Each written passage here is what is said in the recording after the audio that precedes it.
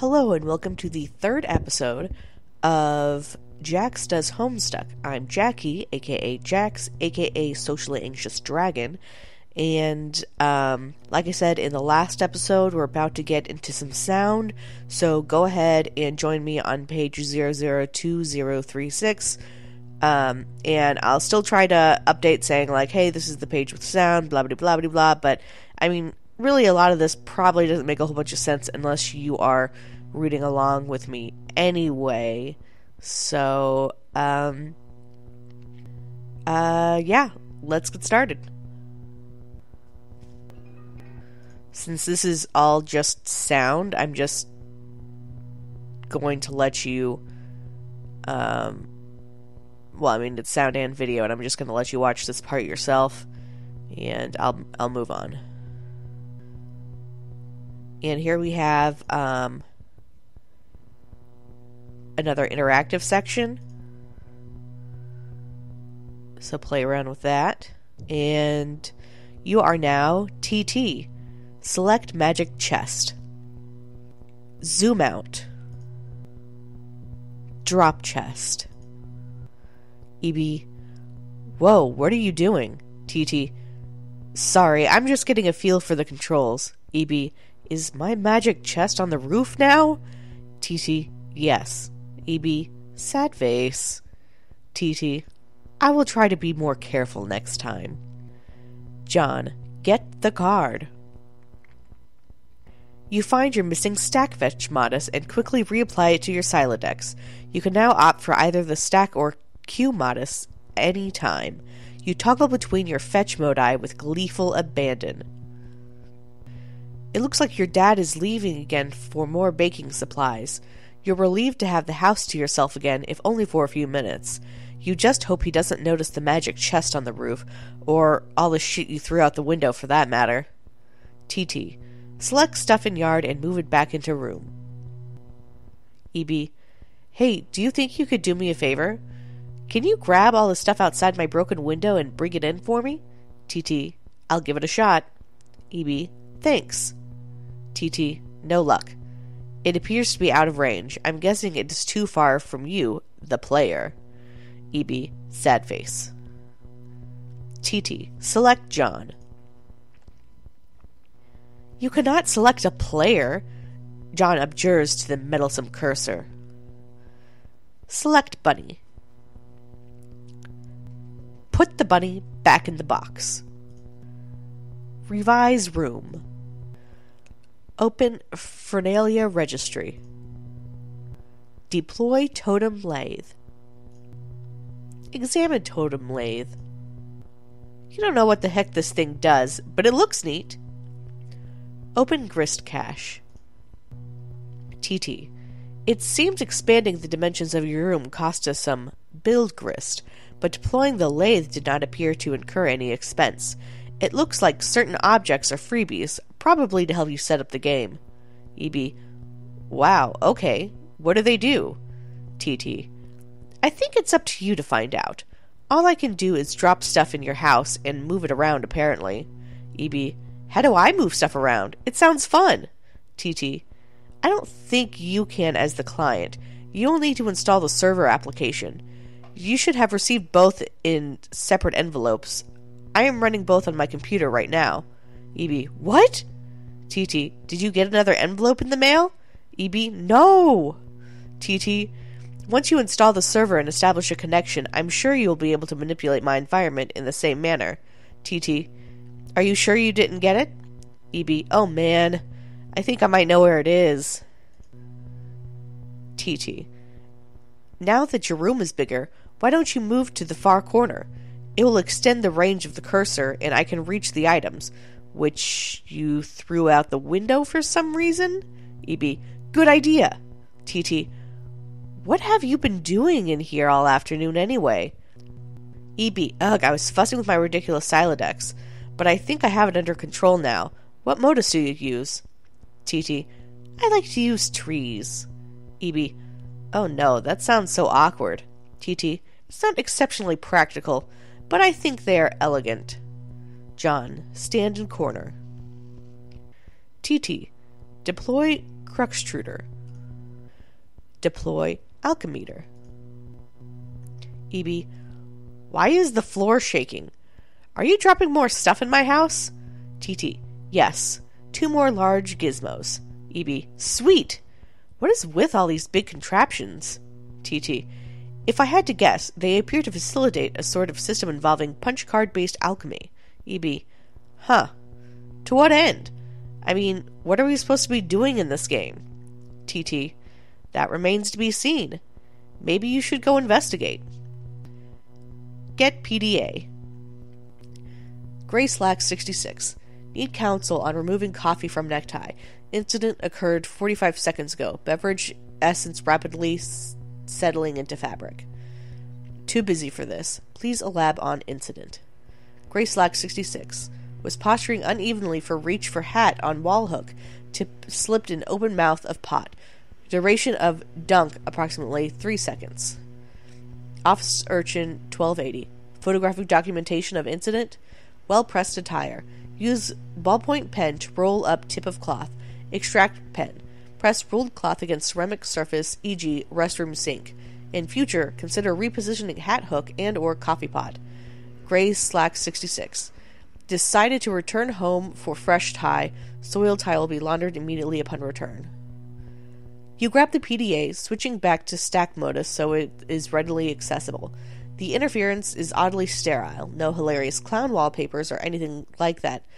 Oops, you mean harlequin wallpapers. The serious business application is open. It seems your dad uses it to keep tabs on various acquaintances. His fellow street performers, maybe? You guess the performing arts must be pretty serious business after all. Install Pesterchum. This should be useful. Now you can keep tabs on your chums while you wander around the house. Go out to balcony. EB. Hey, I'm out on the balcony now. I am messaging from my dad's PDA. TT. The one you threw into the yard? EB. No, I am telling you, it jumped out of my Sylladex like a frightened weasel. TT. What were you doing with it in the first place? I am not sensing a lot of regard for the personal property of others. Is this how your pent-up frustrations with your father manifest itself? EB. What? No, those were all accidents. Please take your psychobabblery elsewhere, miss. TT. Your bathroom is a mess. Did you do that too? EB. Oh man, see, this isn't cool. All this snooping nonsense. TT. There's a cake in the toilet. EB. Yes, there is. TT. I'm tempted to clean it for you. EB. Okay, if that will satisfy your weird OCD complex, then go ahead. TT. My obsessive compulsive disorder complex? Can a disorder also be a complex? EB. In your case, probably. TT. Sounds complicated. EB. Anyway, I'm going to have a look at this enormous platformy thing you put on the balcony. Examine Alchemiter in a cautious manner. You have no idea what to do with this thing. You can't find any controls for it. Having exhausted all other possibilities, you just decide to stand on it. This isn't very cautious of you, actually.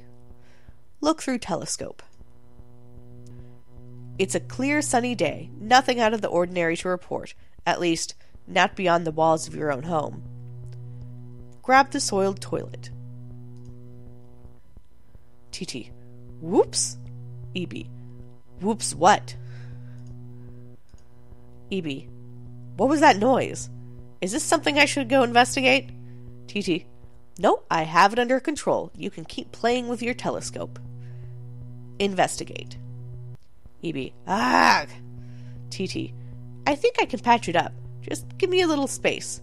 Why don't you go have a look at the Cruxtruder? EB. The what? TT. The thing I put in your living room. Hop down the hole. You jump down to the utility room. Get sledgehammer and card. You take the sledgehammer and the captchalogue card, combine the two, and quickly apply it to your strife specibus. You think it's cool that things don't always have to be a federal fucking issue.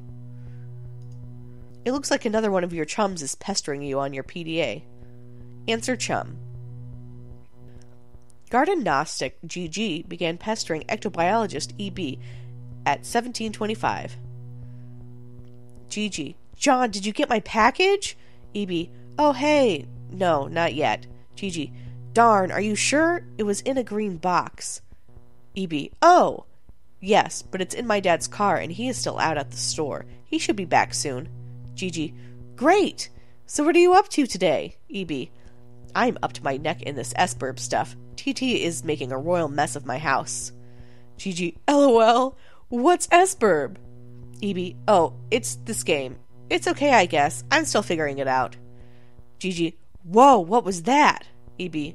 What was what? Gigi. There was a loud noise outside my house. It sounded like an explosion. EB. Wow, really? Gigi. I will go outside and look. EB. Oh man, alright. Be careful, okay? Gigi. I will. Garden Gnostic ceased pestering ectobiologist at 1728. Might as well check out the Cruxtruder. EB. Oh, hell no. You put this thing in front of the door? TT. There's the door there? EB. Um, yeah? TT. I didn't see it. I just thought it fit nicely into that groove. EB. You mean you thought it was elegant?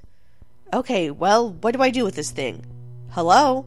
What are you doing up there now? TT.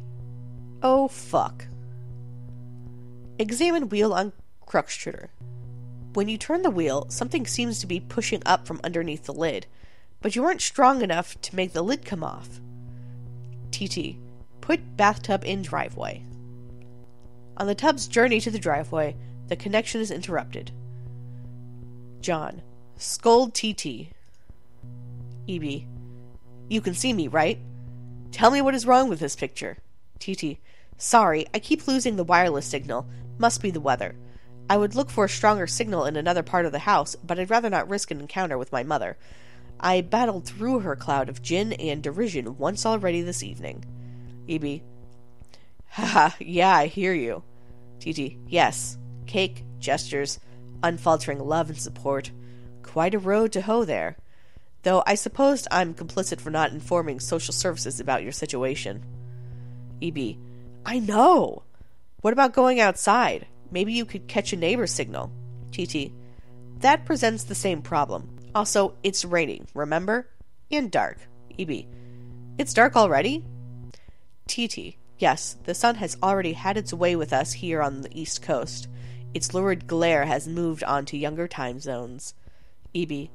Haha. um, okay. Hit Cruxtruder with sledgehammer. TT. Need some help?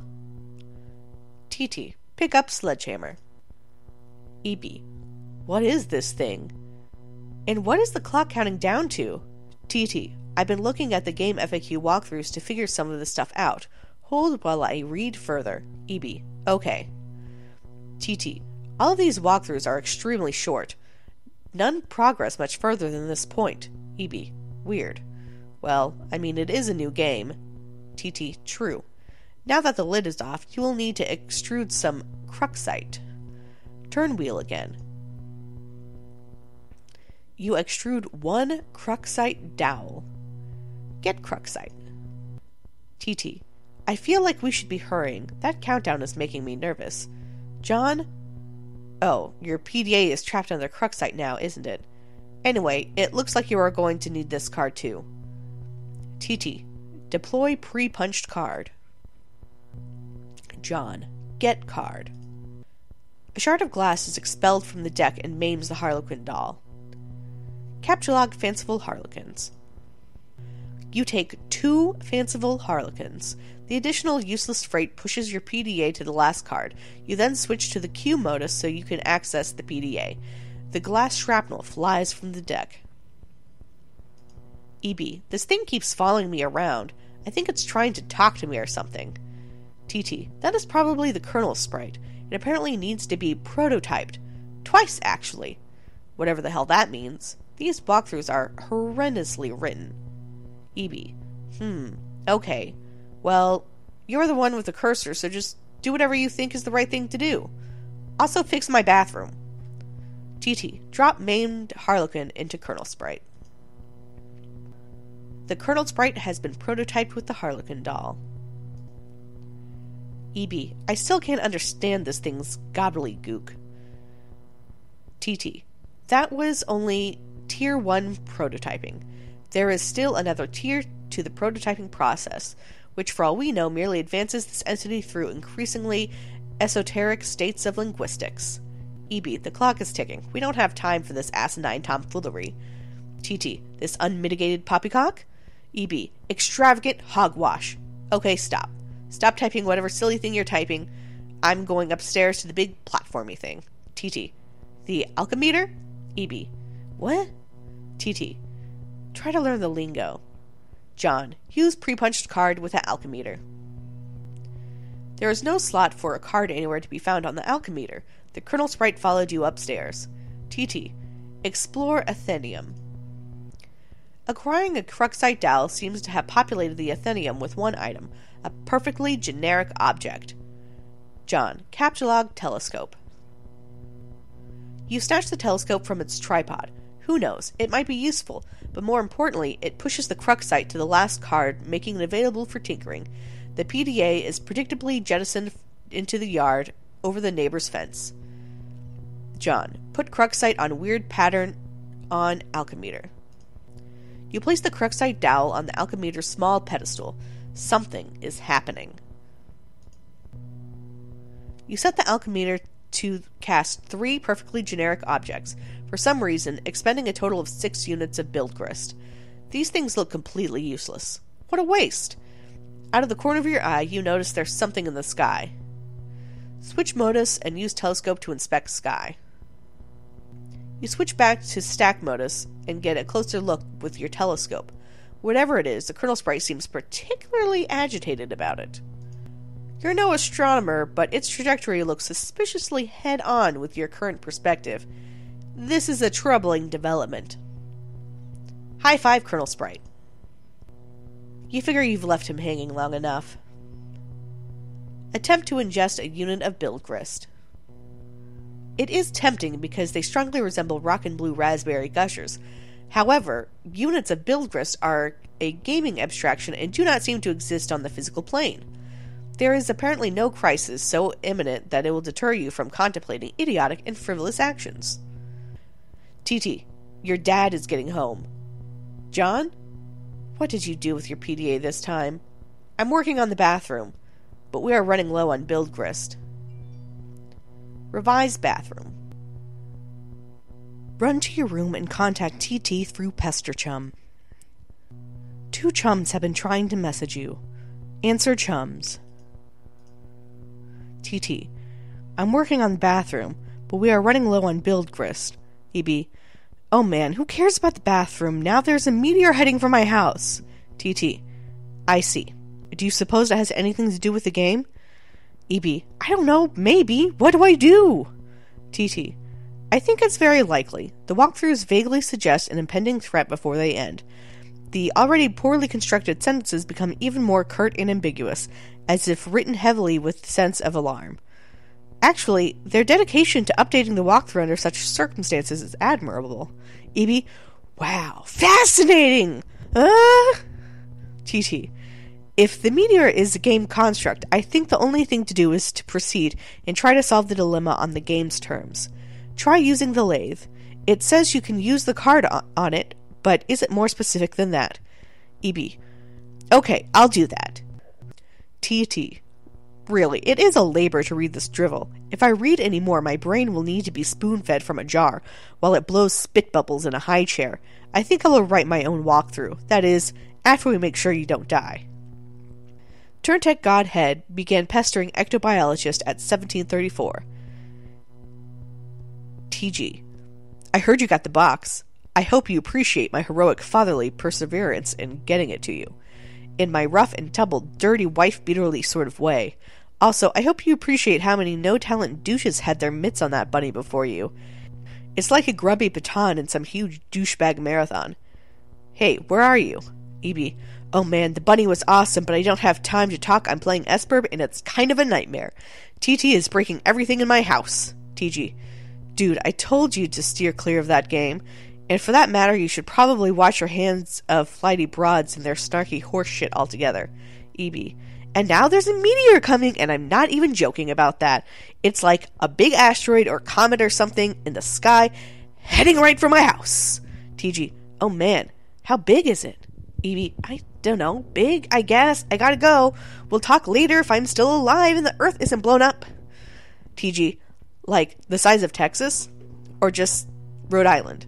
They're always throwing around these geographical comparisons to give us a sense of scale like it really means anything to us, but it's like, it doesn't matter. It's always just like, wow, that's pretty fucking big. Like, Mr. President, there's a meteor coming, sir. Oh yeah, how big is it? It's the size of Texas, sir. Oh shit! Or, how big is it? It's the size of New York City, sir. Oh shit! Sir, I'm afraid the comet is the size of your mom's dick. Oh snap! Sir, are you familiar with Jupiter? You mean like the planet? Yeah. Well, it's that big, sir. Hmm, that sounds pretty big. I have a question. Is it Jupiter?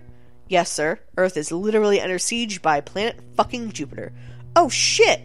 Anyway, later. Use pre-punched card on totem lathe.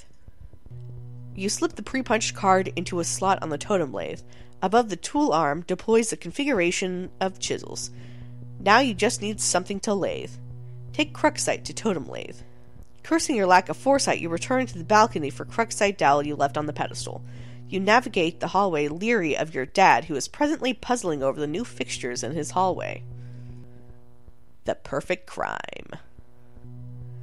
You retrieve the Cruxite dowel. Dad just shrugs and heads back downstairs, presumably to do some more baking.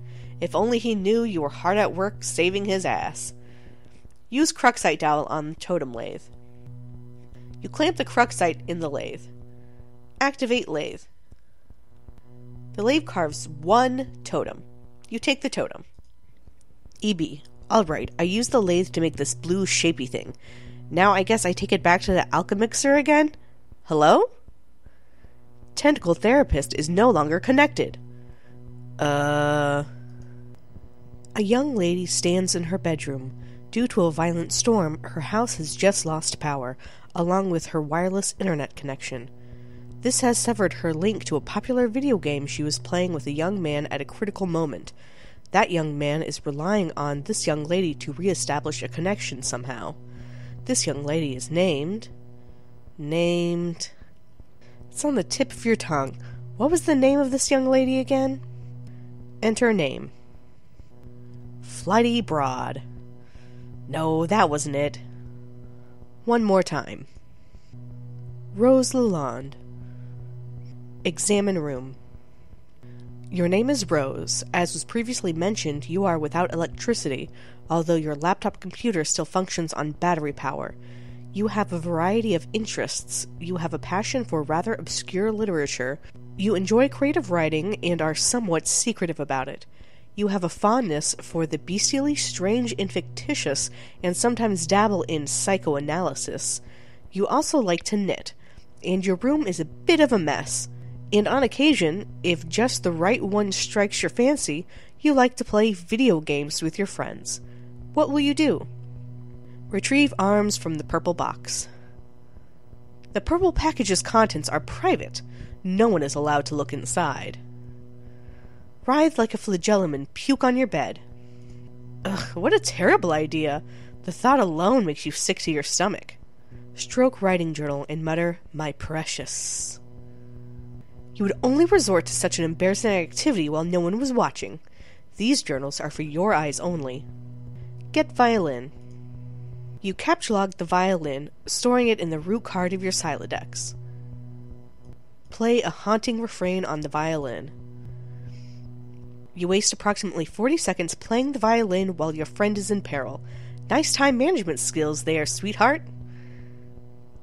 John, tell Liv Tyler you love her before impact. Since your good for nothing friend is obviously not going to bail you out in time, you issue words of parting fondness to dear sweet Liv.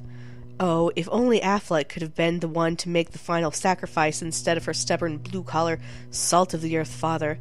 Then she would fall into your arms for consolation, and you would be the one to make the deceased Bruce Willis proud. Rose. Captchalogue knitting supply bag. You get the knitting bag. It occupies the left leaf card under the violin. per the tree modus's alphabetical sorting method. K less than V. Lookout window. Your panoramic window offers a view of your yard below and the mausoleum housing your dead cat Jaspers, who died when you were young. Your mom had the structure erected with the spirit of scornful irony in her response to your youthfully innocent request to hold a funeral for the animal. At least, that is how you have come to interpret the gesture in retrospect. You can also make out a silhouette of the laboratory next door, a facility which likely broadcasts a strong wireless internet signal. You may be able to connect to the signal from a different part of the house. Perhaps if you seek higher ground? Get laptop. You take your laptop and prepare to make the journey through the house. L less than V, L greater than K. This causes the tree to be unbalanced, so your Sylladex auto balances itself. Now the laptop occupies the root card, while the other two items compromise the leaves. K less than L, V greater than L. Examine book on desk. Grimoire for Summoning the Zoologically Dubious. This book is absolutely indispensable for enthusiasts of your ilk, of which there are very few. Take book. You take the grimoire. G less than L, G less than K. Go explore the house. You leave your bedroom. Hanging just next to your door in the hallway is a painting of an exquisite wizard. Your mother collects these awful things ironically. She must know how much you detest them, and there is no doubt in your mind she stores these dreadful things in the house to bother you. Down the hall to the right is the way to the observatory. Perhaps you will be able to connect from up there? Your mother's room is also in that direction. You will have to watch your step. Tiptoe to observatory. You approach a juncture in the hallway. Beyond the juncture is the observatory. Sneak by. This door leads up to the observatory. You haven't ventured up there in quite some time. Go through door. The door opens to an exterior walkway leading to the observatory entrance. You've seen less inclement weather before. Oh, the things you'll do to help out a friend. Hurry up to that observatory. Try to connect. You first put your laptop down on the floor to get it situated, but removing it from the root card causes all the branches and leaves to be severed. Your items are dumped unceremoniously to the floor. See what you can observe. You're in a hurry, sure, but that doesn't mean you can't take a moment to peek through the huge telescope. You find a gap in the clouds. It seems a flurry of smaller meteoroids is streaking steadily overhead. You're not sure what this means, but it is somewhat disconcerting. Stack laptop on Grimoire to maximize elevation. You'll need every advantage you can get. Access laboratory Wi Fi network. There are several signals being broadcasted from the laboratory, each of relatively decent strength. One of them is mysteriously and quite conveniently unsecured, requiring no password. You select the signal and reconnect to the game with John. TT, I'm back. EB, hurry up and open my door. Not that it even matters. I think I'm probably dead no matter what. TT, patience. You still haven't used the new totem. EB, what? TT, I believe it will create the item on the punch card. EB, so what is it, like an apple or something? What good will that even do? TT, we'll see. I found no evidence that anyone has successfully created the item, and the content of the card appears to be variable from session to session. In one instance, it was described as an eggy looking thing. EB. Do we have enough of those building jewels to make it? TT. According to the Atheneum, it is a free item. This speaks to its importance in my view. Now off you go. Remove door from hinges. There goes the rest of your build, Grist. Put bathtub back. You probably should have just done this in the first place. John, take totem to alchemiter. Got to get those stupid blocks out of the way first. The Kernelsprite is getting awfully worked up about all this. Rose, remove blocks. You store the perfectly generic objects in your Phernalia registry, potentially to be deployed at a later time. John, take bite of apple. After watching this flash video, this will be the end of Act 1. So I'm going to stop this here. The next episode is going to be a review episode of Act 1. I'm probably going to start sticking to the archive for um, how I break up my episodes. I'm going to see how well that goes.